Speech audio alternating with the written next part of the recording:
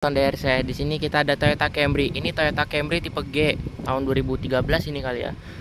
Untuk headlamp di sini dia udah menggunakan proyektor di sini dan ini tipe XP50 udah ganti kode body. Ini fascia muka awal-awalnya ya. Kalau gue lihat-lihat entah kenapa gue ngeliat Camry ini mukanya mirip banget sama Grand New Kijang Innova gitu, yang tahunnya samaan gitu. Fog lampnya juga di bawah tuh model kristal ada chrome-chrome-nya juga. Grillnya chrome seperti ini dan kalau yang facelift itu kan dia mengecil sisi atas tapi membesar sisi bawah. Kalau ini masih membesar sisi atasnya. Nah, kalau tipe G ini yang salah satu dari bedanya ini kalau dari luar, iya ini velgnya ini lebih kecil ini. Sama-sama alloy juga kalau dibanding sama tipe V. Dia 21560R16, dia 16 inci ini velg. Mesinnya mah sama aja, dia 2.5 juga kan. 2500 cc, 4 silinder, dual VVTi, tenaganya 178 horsepower. Iya, tetap punya ABS ya walau tipe G dan ini juga tetap punya hidrolik di kap mesinnya ini dijual di Huli Mobilindo Bursa Mobil Citra Tangerang. Ini mungkin unit baru dapat kali ya makanya. Masih ada kotor unit second juga kan ini. Ini dual VTI emblemnya ada sandy spion sama ada window lainnya dia chrome semuanya tuh. Dan ada door handle nya suara body. Ini layout dari si door trimnya ini layout dari si dashboardnya.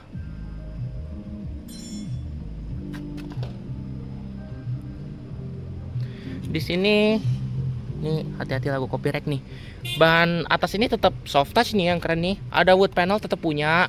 Dominan warna beige di sisi interior dan ini punya retract juga di sisi spion. Power door lock window lock ini juga auto bawa si driver doang. Untuk door handle nya plastik di sini dan ada door pocket sama ada cup holder. Speaker juga tentunya Nah ini yang membedakan ya. Kalau tipe G ini dia pengaturan joknya manual. Head adjusternya pun juga sama dia manual. Ada untuk buka bagasi sama ada buka tangki dan ada untuk buka kap mesin. Transmisi tetap matic di sini. Camry udah nggak ada manual ya semenjak XP40. Ini ada corner sensor, wood panel di sebelah kisi AC dan ada untuk tombol navigasi. Kuncinya mah kayak kunci Kijang Innova banget ya. Nih, seperti ini kunci ini benar-benar kunci Nova nih, bisa buat buka bagasi juga.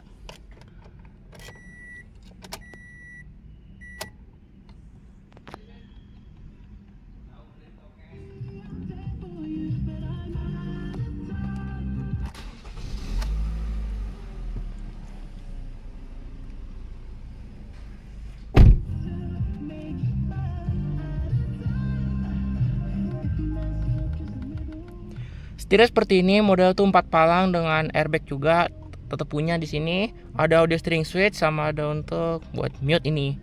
Tapi yang nggak punya tuh tipe G nggak punya cruise control. Ini ada wiper di sini sama itu juga ada saklar lampu sama fog lamp gitu. Ada speedometer, speedometer tuh warnanya putih seperti ini dengan jarum yang warnanya biru. Odometer segini hampir 90 ya odometernya ada sa bensin sama ada udah petan kilometer per liter. Odo trip dari sini? Trip A trip B. Average kilometer per liter ini mobil panas-panasin dong ya berarti. Offset temperatur buset panas bener 36 derajat. Situ juga ada posisi persnelengnya. Pengaturan setirnya tilt teleskopik tetap punya. Setirnya ini dilapis kulit ya warnanya black cuma ini kulitnya udah ngelupas-ngelupas gitu. Ini disarankan sih mending di cover pakai sarung setir aja. Ada jam digital di tengah situ sama ada kisi AC di sini. Head unitnya di double din monitor. Tombol hazard di sini. AC udah dual zone ya suhunya sama ada untuk speed fan. Kayak begini. Dan ada untuk open close air rear sama front defogger. Ini asbak sama ada soket lighternya. Lalu juga ada cup holder 2 dan ini transmisinya seperti ini ya dia otomatis di sini masih gear AT juga dia.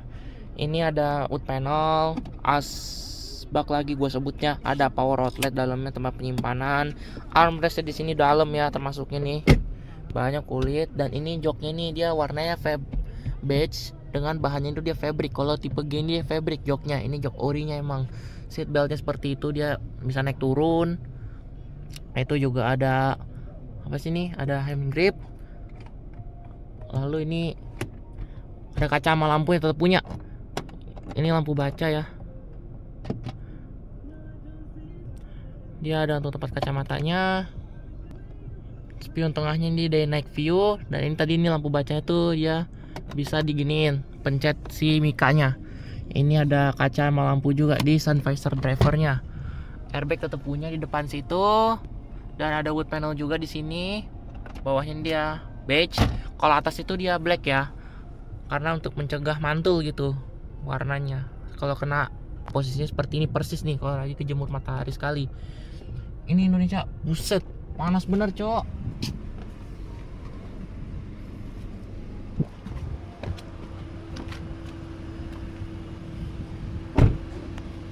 Door handle nya tuh dia tetap ya sewarna body hitam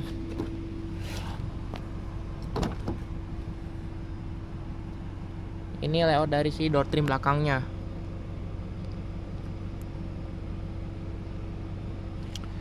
Di door trim belakang tuh.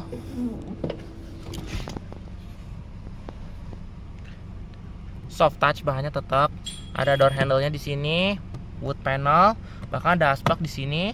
Power window-nya ini masih belum auto. Bahannya fabric sama ada door pocket atau cup holder di bawah situ. Buat duduk di belakang sebuah mobil mid size sedan dari Toyota yang kelasnya itu masih di bawahnya Crown tapi udah di atasnya Corolla. Ini ini nggak harus semaju ini pun juga tetap lega duduknya. Ini posisi kursi driver ini emang maju banget. Ini bukan gue yang setting ini dari dari gue pertama kali nemu ini mobil memang udah kayak gini posisi joknya padahal belum gue setting setting lagi. Si kisi AC di bawah sini ada wood panelnya juga. Ini kantong kursi punya ya dua-duanya tuh penggerak depan ya si Toyota Camry ini. Kalau yang belakang tuh ada Mark X sama Crown di sedannya Toyota. Masih banyak sih. Cup holder di sini dua. Ini untuk akses ke bagasi. Kalau misalnya bawa barang-barang yang panjang. Untuk di sini tetap punya tiga headrest tapi yang tengahnya ini dia nggak bisa naik turun atau fix lah. Situ juga ada hand grip modelnya tuh retract sama hook. Ada lampu baca juga di sini dan ini ada semacam ambient light gitu karena ada gambar bulan gitu ini pasti ambient light ini layout dari si dashboardnya.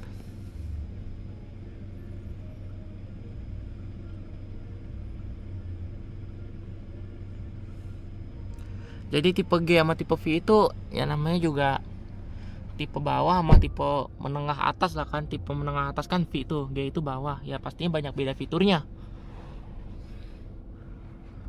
Sekarang mari kita turun.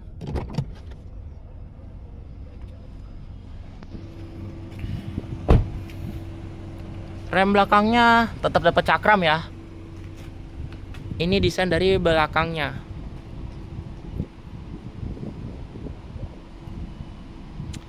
Stop lampnya di belakang sudah LED di bagian si stop lamp merah-merah ini tapi untuk sen sama mundurnya masih bohlam ini emblem Camry lalu itu emblem 25G nya ada parking sensor di bawah sama ada reflektor juga.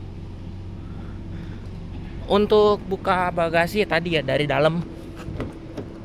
Ini nih untuk buka bagasinya.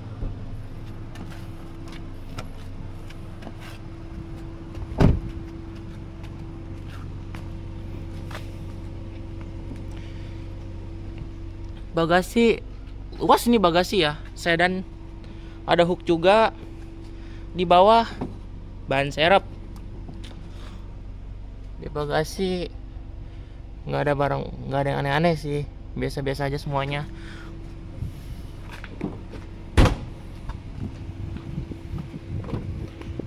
Dan kursi kalau mau dilipat tuh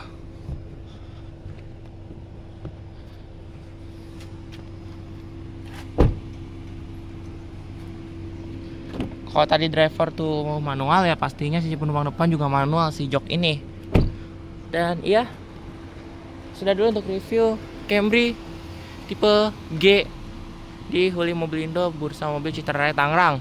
Itu dia letak showroomnya tuh dan ini kode body XP50 dadah